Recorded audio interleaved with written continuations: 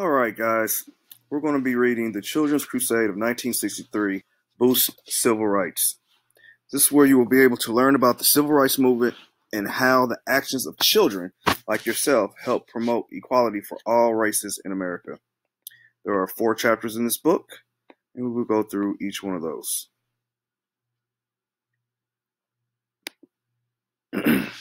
Some fast facts.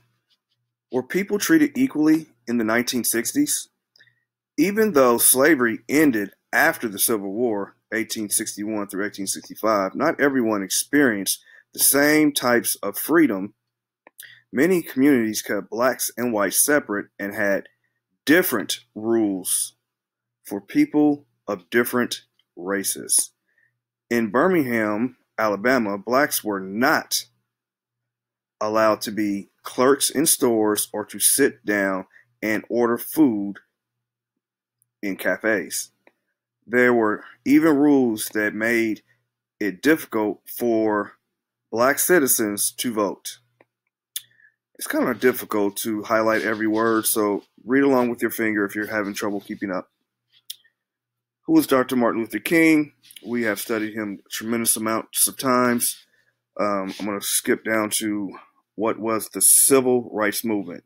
The civil rights movement was a collection of efforts by many people to work for fair treatment of black citizens.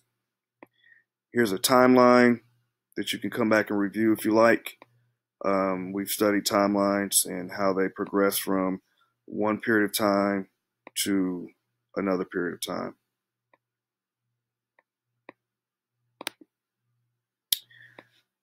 The children volunteer.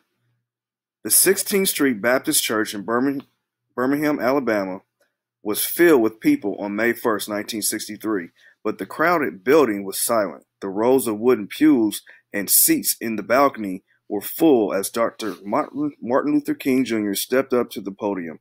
He looked at the crowd. With a booming voice, he asked for volunteers to go on to go to jail. Earlier that year, Dr. Mar- uh, Dr. King had come to town with a mission to fill Birmingham's jail with peaceful protesters. The cost of maintaining a full jail would force the city to talk about segregation. Dr. King has spent the last half hour rousing the crowd. He shouted that it was time to remove the walls of segregation, but no one was eager to go to jail. If adults went to jail, they may have to stay for months. They often lost their jobs and the whole family struggled financially. For most of Dr. King's speech, the crowd had nodded their heads in agreement. Now, most of the men and women turned down their eyes and stared at the back of the pews before them. But the children were growing more excited. One child, 12 year old Freeman Har- Hrabowski, put down his pencil and stopped working on his math homework in the back of the church to listen more closely to Dr. King. Reverend James Bevel had spent weeks training children how to take part of nonviolent protests. He figured kids could fill jails with less hardship on their families. Reverend Bevel watched with pride as children began standing to volunteer. Gwen Webb was 14 years old and had listened closely as Dr. King asked for help. With his words still ringing in their ears, Gwen stood up. Whispered conversations broke silence as parents leaned their heads down to talk with their children. Nine year old Audrey Hendricks stood and told her mom, I want to go to jail. I'm going to zoom out a little bit so you can see this picture. And zoom in a little bit better so you can see this picture.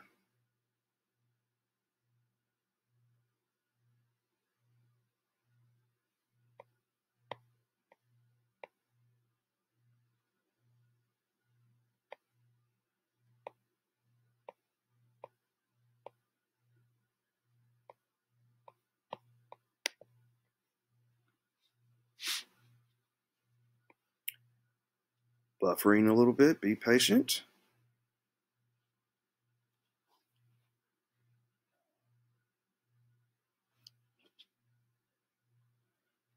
Still buffering. Be patient.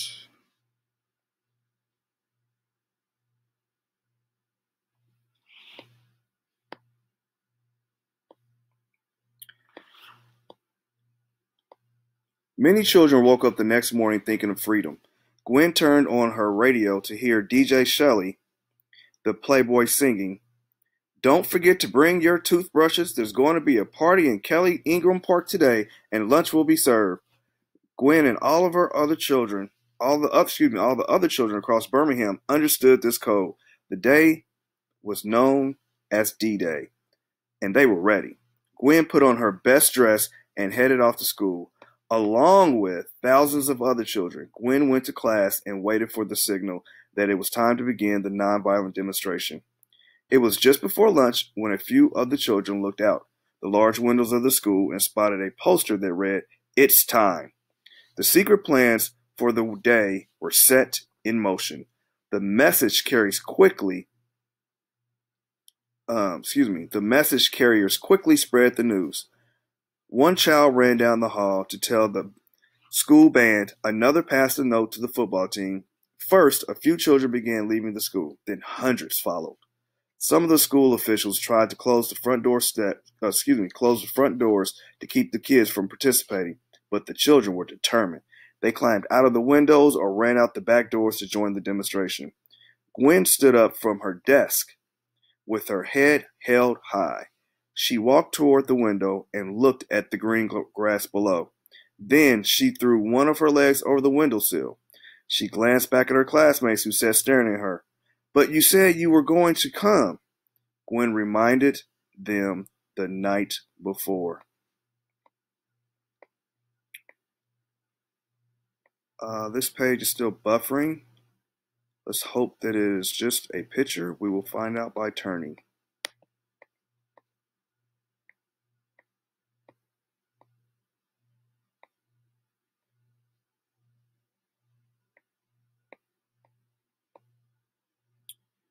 So we can look at this picture while the words are buffering.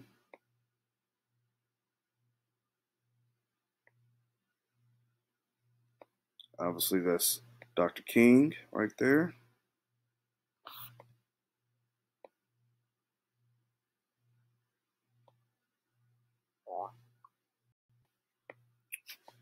Let's try refreshing the page.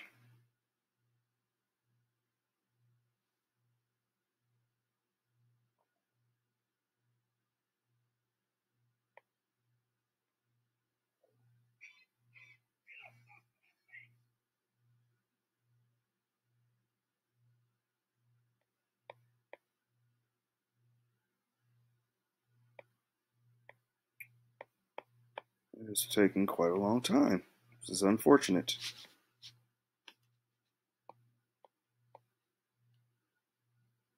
Can zoom back in on the picture a little bit. Alrighty. I actually do have internet.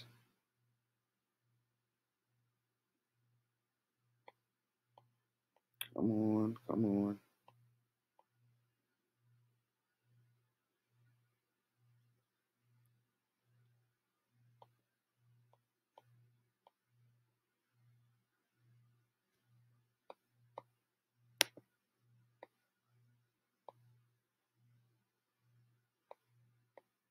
There we go. All right.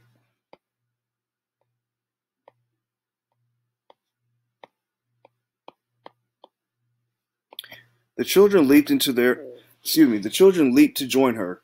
Even children whose parents had told them not to participate couldn't resist the chance to join in. In the black schools all over town, children were walking out of their classes, on that beautiful spring day, a parade of excited children ages 7 to 18 made their way to the 16th Street Baptist Church where all the children had planned to meet. And this is months after this picture here. It's months after the Children's March demonstrators marched to Washington, D.C. Chapter 2 D Day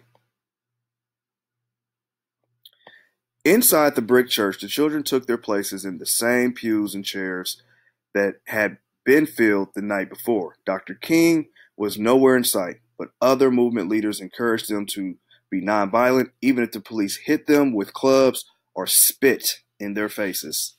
Many of the children felt their stomachs twisting in nervousness, but they knew they had a job to do. Here's a picture of the children who were rounded up by police and sent to the overcrowded jails. Reverend Fred Shuttlesworth told them they were freedom fighters, but without weapons. Nearby, Reverend Bevel lined the kids up two by two in groups of 50. He opened the church doors to the bright light of the afternoon sun. In front of the church stood a large crowd. Parents and community members stood next to the police officers who had who held batons. The first set of children eyed the weapons, but didn't hesitate. They started singing and walked down the front stairs. They marched one and a half blocks before the police chief stopped them. He screamed in his bullhorn, If you do not disperse, you will be arrested. The children did not have a parade permit, as he said this, a white armored vehicle pulled up. All the people of Birmingham knew this car carried public public safety commissioner Eugene Bull Connor. He was in charge of the police and fire departments, and Connor had been elected on his promises to keep blacks and whites separate. A string of paddy wagons pulled up behind Connor's tank. The commissioner stepped out with his own bullhorn and ordered the officers to take the children away. Officers grabbed the children and packed them tightly into small, barred cells of the paddy wagons. The wagons carried them off to jail. This is Bull Connor right here. As soon as the first group was arrested, the next group of 50 children left the church. They were also thrown into paddy, in, into paddy wagons and taken to jail. Reverend Bevel watched from the church and realized the plan was working. Next to him, the kids smiled, knowing the jails were filling. The police brought uh, brought school buses. This little girl right here is probably around seven years old because the caption says children as young as seven were arrested on D Day. Very, very young. This way, they could arrest more children. The kids were proudly out the bus windows to, to the cheering crowd.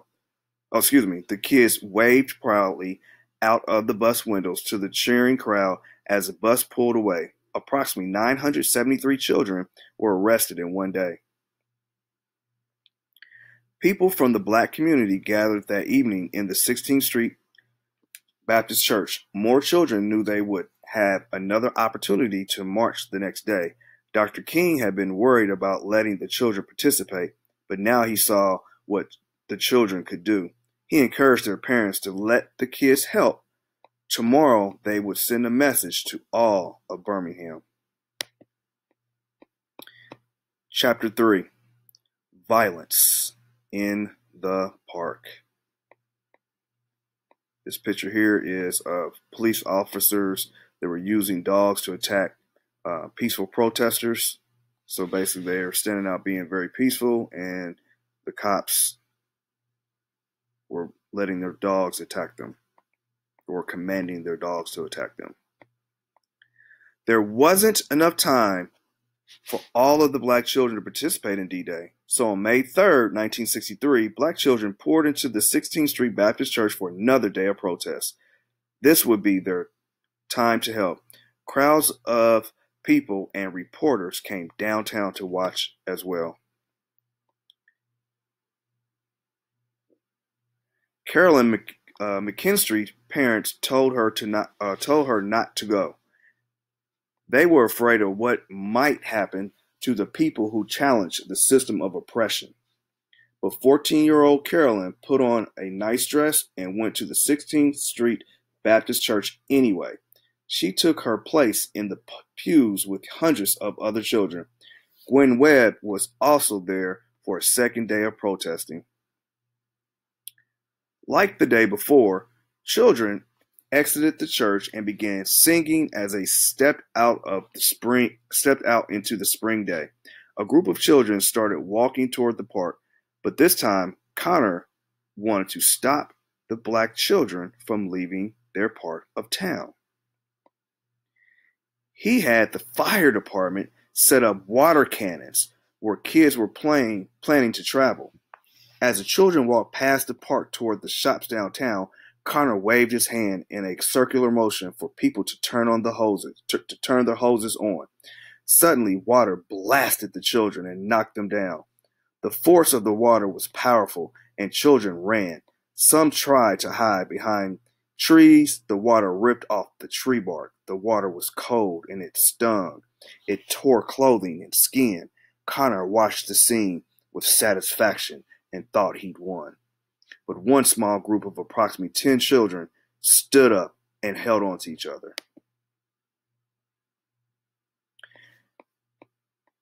They sang freedom, freedom, freedom as they pushed together into the force of the water and kept marching.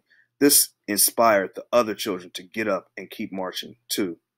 Carolyn made herself walk under the cold arching mist of the hoses. She remembered the warnings the marchers had been given. People told them it was possible they would be spat on, pushed around, and beaten, but she didn't recall anyone saying anything about water hoses. Suddenly, a hose turned on her. Here's a picture of not necessarily Carolyn, but other demonstrators um, who were pushed against the wall, these brick walls, having that water blasted on them. And this is a picture of um, what happened after they were arrested. Some women uh, were kept in a building on the state fairgrounds.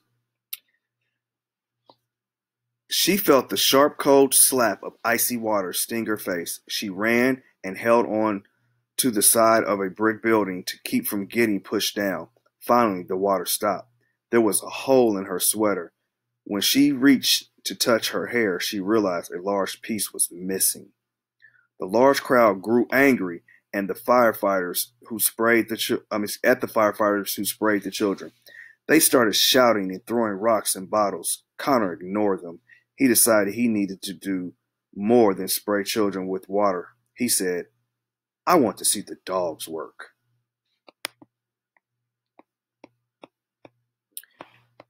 German shepherds snarled and barked as officers held them back.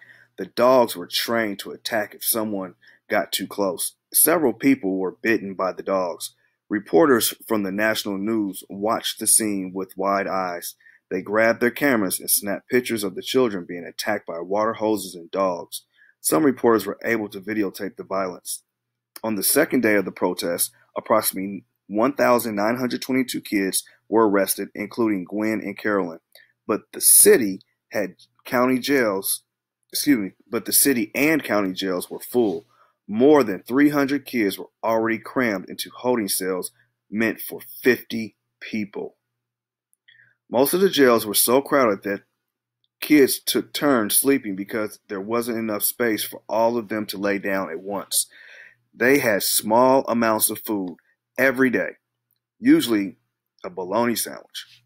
Gwen was sent to the state fairgrounds and locked in a cattle pen with other kids. In the evening, it started to rain and water sank into the children's already damp clothes. Some parents went to the fairgrounds and threw sweaters and food and to the children. But no matter where the children were detained, the kid, I mean, they kept their spirits up by singing about freedom. Uh, I'm not sure what's going on with the buffering here, but apparently this is uh, some children who were arrested, uh, some some arrested children who were crowded around the fences when people visited them in jail.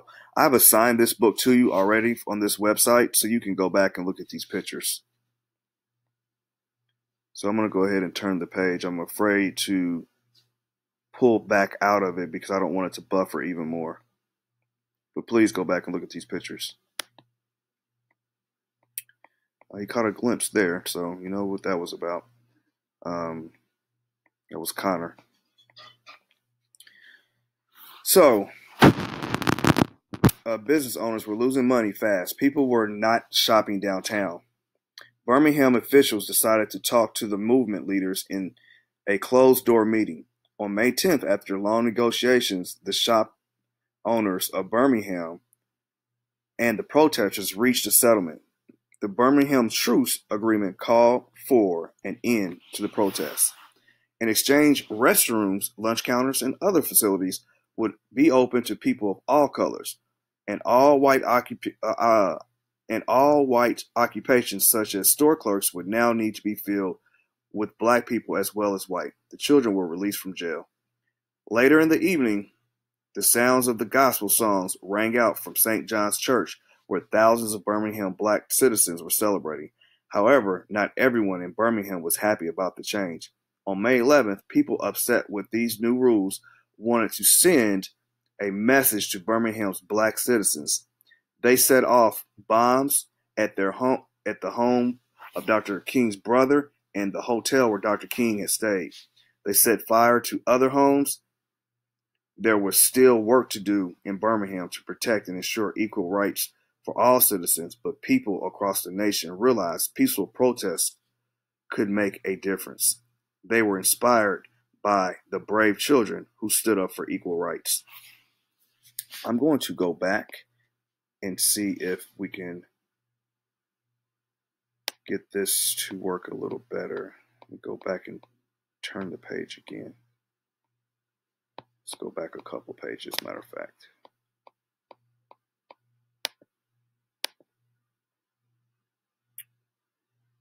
Okay, it didn't work very well. Let's keep trying though. All right. One month later, on June 11, 1963, Kennedy, Kennedy appeared on television and addressed the nation about segregation. He sat at a desk while cameras zoomed close to his face. The sincerity in his eyes was clear. An American flag stood behind him. This is a picture of police officers and firefighters um, who arrived at the scene in a Birmingham in Birmingham after several homes were set on fire. Now the time has come for this nation to fulfill its promise.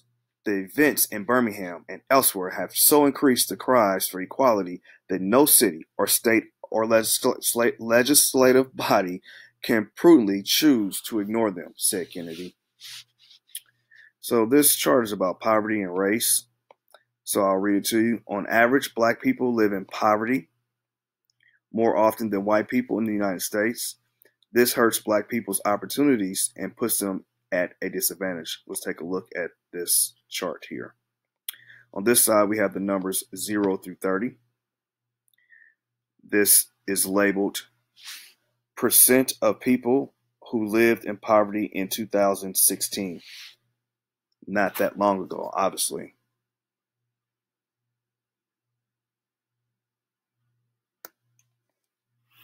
Eight point eight whites versus twenty two blacks on average, percent wise.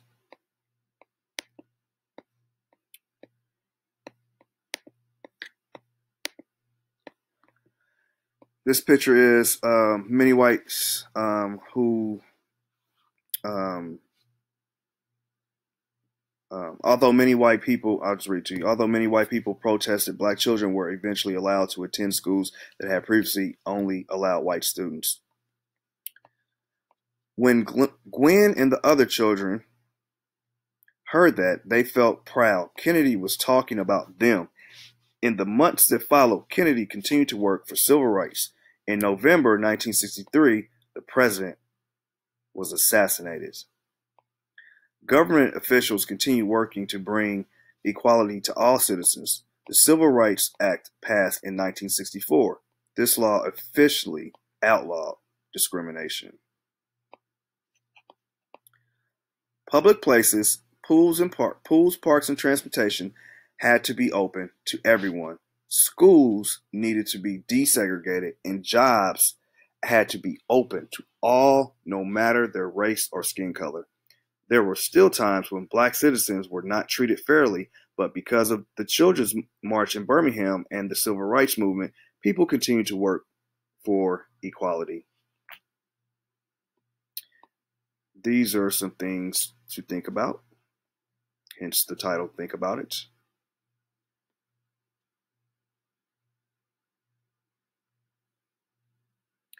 Feel free to pause and write your answers on paper. That can be sent in to me uh, via text message or email, um, and you will get credit for your work. So here's our glossary of terms.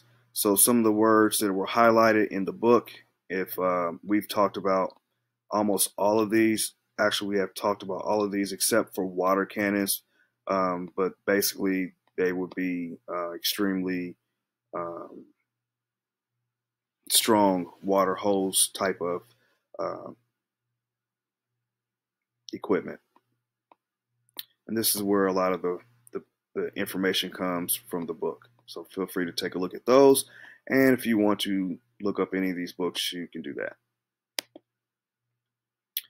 Index. So if you're looking, you want to go back say, hey, I don't remember where we're talked about the Baptist uh, 16th Street Baptist Church. You can come look in this index area, find 16th Street Baptist Church, water cannons, all kinds of things. Here's some websites uh, about the march, uh, some videos. You know, I always like to show uh, some videos after we talk about interesting things. Um, and if you want to learn some more about this, here are some books that you can look at.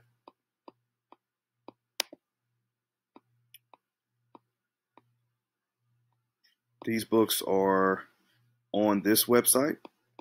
Feel free to look them up. There's one about Montgomery bus boycotts, Barack Kennedy, uh, the president that was talked about in the story. Okay. Well, you see, I earned my points because I completed a book. You can do the same. Hope you enjoyed the reading.